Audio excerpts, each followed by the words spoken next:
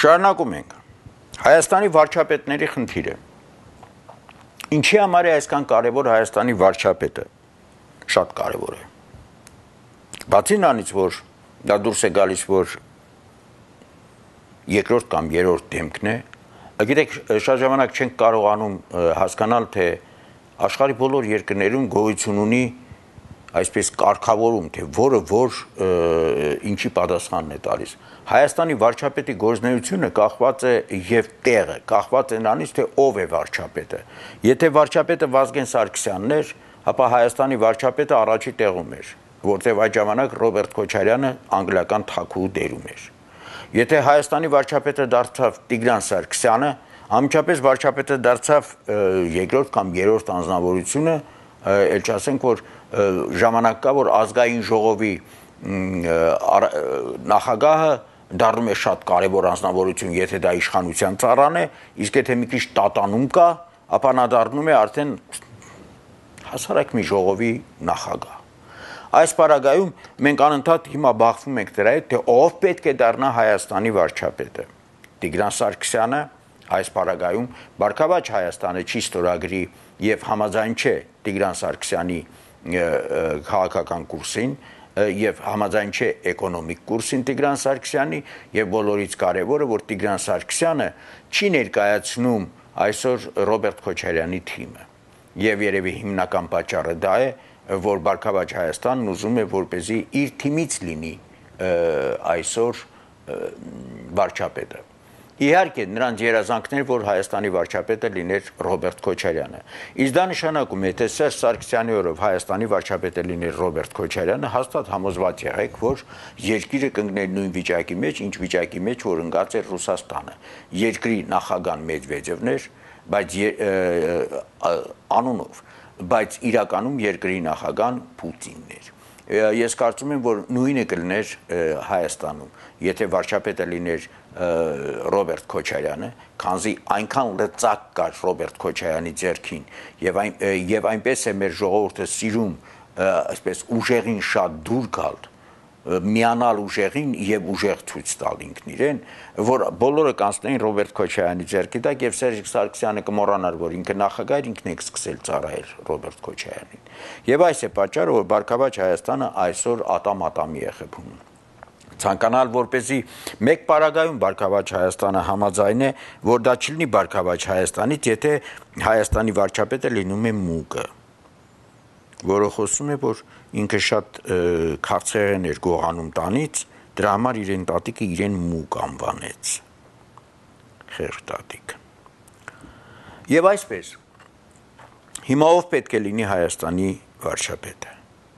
Կան նաև երկու Կարապետյանները, որոնք որ պատրաստվում են հետակա, այսպես ասած, քայլերի համար։ Դա Կարեն Կարապետյանն է, եւ նախագահի ուրեմն Երևանի նախկին քաղաքապետ Կարեն Կարապետյանի եւ նախագահի աշխատակազմի նախկին ղեկավար Կարեն Կարապետյանի անունները։ Մեզ մոտ այսպես են, կամ ազգանունները Սարգսյան են, կամ Կարապետյան են, այսպես է ամեն ինչը։ Հիմա տեսնենք թե ով կարող է հաղթել այս պատերազմի մեջ, որը կոչվում է ես կարծում եմ, որ դա ավելի ձևական պատերազմ է եւ կարողացան հոյակապ այդ ներկայացումը խաղալ Բարգավաճ Հայաստանը եւ Հանրապետականը եւ կարողացան այդ խաղի մեջ կասել հայ ազգային կոնգրեսին եւ այդտեղից բոլորից շատ օգտվողը եղավ դաշնակցությունը, որը որ չպետք է հայտնվեր այսօր այդ 5%-ով, չպետք է հայտնվեր, ստիպված նրան էլ գցեցին այդ 5%-ի մեջ եւ շահեց եւ եկավ ազգային կոնգրես։ Հակառակ պարագայում դաշնակցությունը չէր մտնելու ազգային կոնգրես։ Եւ իսկ դուժեց, դուժեց հայ ազգային կոնգրեսը։ Ինչու? Որտեղ բոլոր ձայները տարավ 15-ից 20% ձայն, եթե ոչ ավել 20-ից 25% ձայն, ազգային հայ ազգային կոնգրեսի ցայները տարավ Բարգավաճ Հայաստանը։ Հասարակ բան է։ Ժողովուրդն արդեն սովորել է այդ վիճակին, որը կոչվում է փոխտուր ցայն տամ։ Մտածեց, ես ընդդիմություն եմ, ես առանց որևէ գումարի ցայնս պետք է տայի հայ ազգային կոնգրեսի ներկայացուցիչներին։ Իսկ հիմա հայ ազգային կոնգրեսը այսպիսի լավ վերաբերմունք է ցույց տալիս Բարքավաճին եւ պաշտպանում է Բարքավաճին եւ հույս ունի, որ Բարքավաճը պետք է դառնա ընդդիմություն։ Դե ընդդիմություն, ընդդիմություն, ես է ցայնս կտամ ընդդիմությանը, բայց դրա փոխարեն այդ ընդդիմությունը ինձ փող է տալիս։ Եվ այսպես Բարքավաճ Հայաստանը խաղալով ընդդիմություն, խաղալով այն, որ ինքը պետք է հետևի եւ ամենա շատ գումարները երևի հանրապետակ ոչ թե երևի այլ հաստատ հանրապետականների հետ նրանք ծախսեցին, նրանք կարողացան ազգային կոնգրեսի ցայները տանել իրենց։ Քանզի ժողովուրդը մեր արդեն այնքան է սովորել դրան, որ այսօր նույնիսկ այսպես է փող դուր ցայն տամ Եվ այսօր բոլորովին հանգարցակի չէ, որ նրանք ովքեր որ գումարները վերցրել էին, իսկ նրանք ովքեր հույս ունեին գումարներ վերցնելու, եւ նրանք խապվեցին եւ այսօր մենք շատ ենք տեսնում թե ինչպես են բողոքում որ գումարները հետ մեզ գումար տվեք դուք խոսք եք տվել մենք ձեր ցայն ենք տվել իսկ դուք գումարը չեք տալիս ել ինչի տան 4 տարի հետո նորից այդ անձնավորությունը կմոռանա 5 տարի հետո կամ ընդամենը 1 տարի հետո նախագահական ընտրությունների 1 տարի չի մնում ավելի քիչ է մնում կմոռանա կամ երկու անգամ ավել կվերցնի եւ նորից ձայնը կտա նրան ում դեմ նա այդպես փողոց է դուրս գալիս Հիմա խոսքը գնում է նրա մասին, որ մենք անընդհատ լսում ենք, որ մենք մաքուր ենք անցել, խոսքը ընդդիմության ներկայացուցիչների մասին է։ Մենք մաքուր ենք անցել, առանց գումարի ենք անցել, մեր մանդատները մաքուր են, մենք գնում ենք դառնում ենք падգամավոր։ Բայց ընդամենը մի քանի տարի առաջ այս նույն մեր ընդդիմությունը, որոնց շարքերում նաև ես եմ, եւ ես եմ եղել եւ այսօր էլ մնում եմ ընդդիմություն այս իշխանությանը, այս բայց մեկ տարբերությունով որ չեմ ընդունում հայ ազգային ներողություն Բարգավաճ Հայաստանի բարեկամությունը, չեմ հավատում Բարգավաճ Հայաստանի եւ չեմ հասկանում, երբ հայ ազգային կոնգրեսից հերացողներին այդպես փորձում են կեղտոտել։ Ես մնում եմ ընդդիմություն, ժողովրդի կողքին եմ եւ կմնամ այդ ընդդիմությունը, բայց երբեք կուլ չեմ գնա նրան, ինչը կոչվում է որ ինձ պետք է հրամայեն կամ ինձ պետք է հուշեն։ Եթե այդպես լիներ, կմտնեինք որևէ կուսակցություն եւ հրամայվելով կապրեինք եւ երջանիկ կապրեինք, սկսած կոմունիստական կուսակցությունից։ Սովետական միության, որ մտներ իրեն շարքերը եւ իրեն ծառայեր երջանիկ կապրեիր։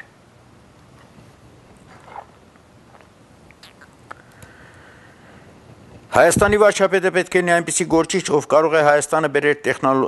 տեխնոլոգիաներ եւ զարգ տալ տեխնոլոգիայի տնտեսության զարգացմանը։ Միայն այդպիսի տնտեսությունը կարող է Հայաստանը դարձնել ժամանակակից մրցունակ պետություն, ինչը իր հերթին կնպաստի թե արտագաղթի կանխմանը, թե բազմաթիվ տնտեսական եւ սոցիալական խնդիրների լուծմանը։ Նման տնտեսության զարգացման խոչընդոտը Հայաստանում մենաշնորներն են։ Տնտեսության օլիգարխիկ կառուցվածքը, կոռուպցիան, դիրող եւ խրախուսվող արժեքային համակարգն ու մտածողությունը։ Եվ Հայաստանին պետք է վարչապետ, որը դուրս կլինի այս ամեն ինչից։ Որտեղից կգտնենք այդպիսի վարչապետ, որ Հայաստանում դուրս լինի այս մտածելակերպից։ Որտեղից, ասեք այդ անկյունը, այդ տեղը, որտեղ է այդ տեղը, որ մենք կարողանանք այսպիսի վարչապետ գտնել։ Երբ այսօր մենք չենք կարողանում գտնենք այն անգլիական թակու խոսքերը, որն ասես 10 հոգի նվիրալ ժողովրդին, մարդ կգտնեք, որպեսզի ղեկավարի Անգլիայի իշխանությունը ոչ թե նվիրա, նվիրված քաղաքականությանը կամ իրենց աթոռներին ու պաշտոններին, որոնք պաշտոն ստանալու պես կորցնում են ամեն ինչը եւ մտածում են գրպանները լցնելու համար։ Այլ խոսում են նրա մասին, որ կգտնեք նրանց, ովքեր որ գալիս են պաշտոնի ոչ թե գրպանները լցնելու, այլ ժողովրդի մասին մտածելու։ Մեզ այսօր դրանք են պետք։ Այդ քաղաքական մտածելակերպ ունեցող գործիչներն են պետք։ Այդ վարչապետն է պետք որը ստրուկի հոգեբանություն չունենա, որը մտածի, որ Հայաստանի սոցիալ-տնտեսականը այնպես պետք է բարձրացնել, որ մենք չլինենք ռուսական սապոգի տակ ճնշված ազգ, որպեսի Ռուսաստանի այս այսօր ասենք Ռուսաստանի այդ տոտալիտար իշխանության ղեկավար Պուտինը չզբաղվի դրանով, թե ով պետք է լինի Հայաստանի վարչապետը, որտեղ արդեն պարտություն կրեց ինքը նախագահական ազգային ժողովի ընտրությունների ժամանակ նա կարծում էր որ Բարգավաճ Հայաստանը, որը որ Ռուսաստանի այսպես ասած առաջին ձայնն է, նա կհավաքի, որտեղ Քոչարյանի Քոչարյանը նրա հետևում է։ Բարգավաճի հետևում է կանգնած։ Իսկ հիմա գոնե մտածում է վարչապետի աթոռը ձեռք բերի, որ เป զի բոլոր այն վիճակները, որը կոչվում է, տեսեք, մի կողմից Ռուսաստանը գնում է մասնակցում է ՆԱՏՕ-ի համաժողովներում, մյուս կողմից մտնում է G8 այդ ալյանսի մեջ, մի կողմից ինքը իրեն ներկայացնում է, բայց մյուս կողմից ստրուկ երկրներին հավաքում է Եվրասիական միությունը կառուցում եւ ասում է դուք նստեք այստեղ դուք կնեք իմ ստրուկները իսկ ես մենակը այնտեղ երկու լարի վրա կխաղամ իմ խաղը Եվ սա է մեզ պետք։ Իրոք մեզ պետք են այսօր քաղաքական գործիչներ, որոնք որ կարողանան այդ մտածելակերպն ունենան։ Հիմա ուր կհասնի Գագիկ Ծառուկյան եւ Սերժ Սարգսյան այս համագործակցություն ասենք, մեկը մյուսի դեմ դուրս գալ, ասենք, եւ հետաքրքիր ինչն է, որ չնայած մեքենայի տակ էինք, առանց այդ էլ երևի ուղեղը այնքան լավ չէր աշխատում, բայց հիմա երևի մեքենայի տակ առողջություն ենք ցանկանում Գալստյանը սա սա Գալստյանը եւ ներողություն Գալուս Սահակյանը եւ հետաքրքիրը այն է որ Գալուս Սահակյանը ասել է որ ինքը գիտի թե արդեն վարչապետով պետք է նշանակվի բայց ձան չի հանում Իսկ մյուս կողմից մենք տեսնում ենք, որ Շարմազանովն ասում է, որ մենք դեռ չգիտենք թե ով է վարչապետը։ Տեսեք, իրենց մեջ է կա խաղը։ Նույնն ասում է Գագիկ Ծառուկյանը, որը իր հայտարարություններում ասում է, բայց կա նաև մեկ վտանգ, որ Գագիկ Ծառուկյանը 2005-2006 թվականներին հայտարարում էր, երբ ստեղծվեց Բարգավաճ Հայաստանը, արդեն դարձավ այսպես ասած պինդ կուսակցություն, նա հայտարարեց, որ Եթե ես տեսնեմ, որ ես չեմ կարողանում Բարգավաճ Հայաստանի առաջին դեմքը լինել, ապա ես կլքեմ կուսակցությունը եւ թող ուրիշ մարդ ղեկավարի կուսակցությունը։ Մենք այսօր տեսնում ենք, որ հնարավոր է, որ այսօր Սերժիկ Սարգսյանը Գագիկ Ծառուկյանին, եթե շատ Գագիկ Ծառուկյանը պաշտպանի Ռոբերտ Քոչարյանի դիրքերը, եւ չհամաձայնվի Բարգավաճ որ վարչապետ մնա Տիգրան Սարգսյանը, իսկ դա Սերժիկ Սարգսյանին շատ օթի ջրի պես պետք լինի, հնարավոր է որ այնպիսի վիճակ ստեղծվի, որ Բարգավաճ Հայաստանի լիդերը փոխվի եւ դառնա ով? Օսկանյանը։ Սա էլ մի տարբերակ է։ Եվ որտեղից գիտենք, որ այս տարբերակը նորից խաղացված տարբերակ չէ։ 100% գիտեք, որտեվ Գագիկ Ծառուկյանը վերջապես օլիգարխ է, միլիարդատեր տղա է եւ բոլորովին այսպես ասած կյանքի համար քաղաքականությունը ընդամենը մեկ պատրվակ է, որ เป զի պաշտպանի իր միլիոններին, թե չէ եթե դեմոկրատական երկրում լիներ եւ այդ գումարները Գագիկ Ծառուկյանը 100%-անոց ճշմարիտ ճանապարհով վաստակած լիներ, ներողություն ինքը ինչի պետք է գար քաղաքականություն եւ ընդհանրապես ինչպես պետք է գար քաղաքականություն որևէ օլիգարխ որևէ միլիոնատեր քաղաքականություն գալու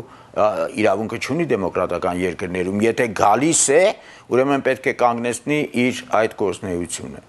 Այս պարագայում կարելի է հասկանալ, որ Գագիկ Ծառուկյանը երևի ընդամենը մի խաղալիք էր, որն արդեն իր խաղը խաղացել է։ Այնպես որ մոտակա 1 ամիսը մենք կտեսնենք, որ ամեն ինչ པարս կլինի։ Իսկ հիմա այսպես, ուղղակի ցանկանում եմ ընդդիմության եւ գնացողներին իրոք գնացողները շատ հանդարտ, շատ հանգիստ իրենց խոսքերն ասում են, առավել եւս այն, որոնք որ որևէ վիրավարական խոսք չեն ասում հայ ազգային կոնգրեսի, իսկ այ ազգային կոնգրեսի մնացած այն կիսա երիտասարդները, որոնց անցած ճանապարհը մեզ հուշում է, որ նրանք գլուխները կորցրած ուղակի պաշտոններ են ուզում, թող մի քիչ հանդարտվեն եւ հարգեն այն ճանապարհը, որ իրենք անցել են այդպես չի կարելի այդպես ընդամենը ժողովուրդը կարող է հիասթափվել դուք ձեր գրագետ ձեր քաղաքագիրտ նախագահի իմեջի եւ անունի հետ եք խաղում չի կարելի այդպես կարծում եմ որ նույն նկատողությունը երևի ինքը ձեզ անում է այսքանը սիրելի բարեկամներ տեսություն ձեզ